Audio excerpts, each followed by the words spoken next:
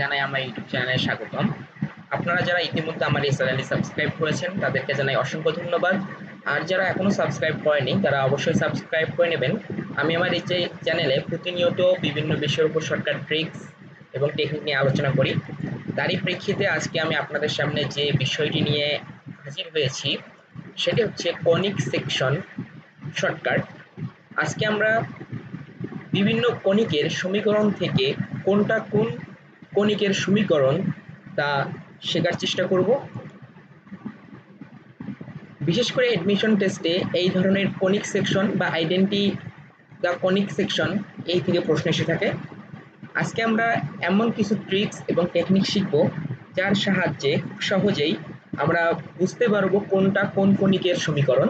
চলুন শুরু করি।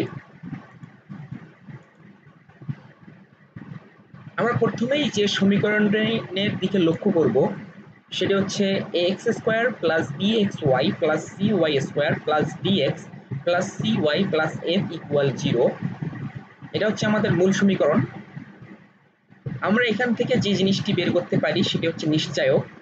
নিশ্চয়ক বের করার জন্য আমরা লিখতে পারি B square minus four AC এখন এই নিশ্চয়কের মান বি স্কোয়ার মাইনাস ফোর এসির মান যদি লেস দেন জিরো হয় এবং বি ইকুয়াল জিরো হয় এবং এ ইকুয়াল সি হয়, তখন যে কণিকটা আমরা পাবো সেটা হচ্ছে সার্কেল পরবর্তীতে B is not equal zero অথবা এ নট ইকুয়াল সি হয়, তাহলে আমরা যে কণিকটা পাবো সেটা হচ্ছে ইলিপস এবং স্কোয়ার মাইনাস ফোর এ সির মান যদি জিরো হয়, তাহলে আমরা যে সমীকরণটি পাবো সেটা হচ্ছে প্যারাবলা এবং B square minus four A C যদি গ্রেটার দেন জিরো আমরা যে মানটা পাবো সেটা যদি গ্রেটার দেন জিরো হয়, তাহলে আমরা যে কণিকটা পাবো সেটা হচ্ছে হাই প্যারাবোলা চলুন আমরা বিষয়টি কয়েকটি উদাহরণের সাহায্যে বোঝানোর চেষ্টা করি।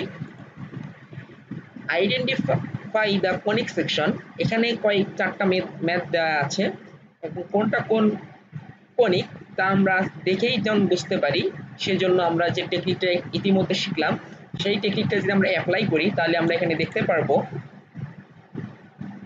এখানে sixteen X square plus eight X Y plus Y square minus seventy four X minus seventy eight Y plus two hundred twelve equal zero এই সমীকরণের মধ্যে বির মান হচ্ছে এইট এ হচ্ছে সিক্সটিন এবং ওয়াই এর সহগ হচ্ছে ওয়ান এখানে আমরা ওই সমীকরণ অনুযায়ী লিখতে পারি eight square minus four into sixteen into one আমরা ক্যালকুলেশন করলে এটা লিখতে পারি ইকুয়াল জিরো সুতরাং এটা হচ্ছে আমাদের প্যারাবোলা সমীকরণ বা প্যারাবোলা কণিক পরবর্তীতে আমরা যে ম্যাটটি রয়েছে তার প্রতি একটু লক্ষ্য করি, দুই নম্বর ম্যাটটি এখানে রয়েছে eight X square plus four X Y plus five Y square minus twenty four X minus twenty four Y equal zero এই সমীকরণে আমরা যদি B square minus four AC এর মান বের করি, তাহলে যে মানটা পাবো, সেই মানটা হবে লেস দেন জিরো সুতরাং এটা হবে ইলিপসের কণিক বা ইলিপসের সমীকরণ। পরবর্তীতে যে ম্যাটটি রয়েছে, সেখান থেকে আমরা যদি B square minus four AC এর মান বের করি তাহলে আমরা লিখতে পারি পাবো টুয়েলভ এখান থেকে আমরা, এটা টুয়েলভ এটা হচ্ছে জিরোর চেয়ে বড় মান।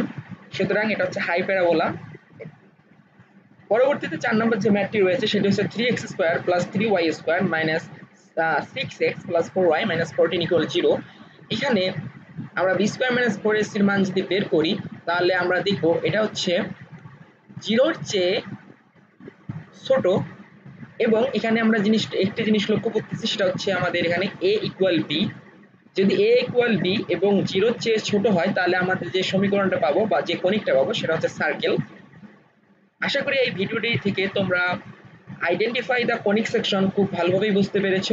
এরপরেও যদি তোমাদের কোনো প্রশ্ন থেকে থাকে, অবশ্যই আমাদের কমেন্ট বক্সে তা পড়বে।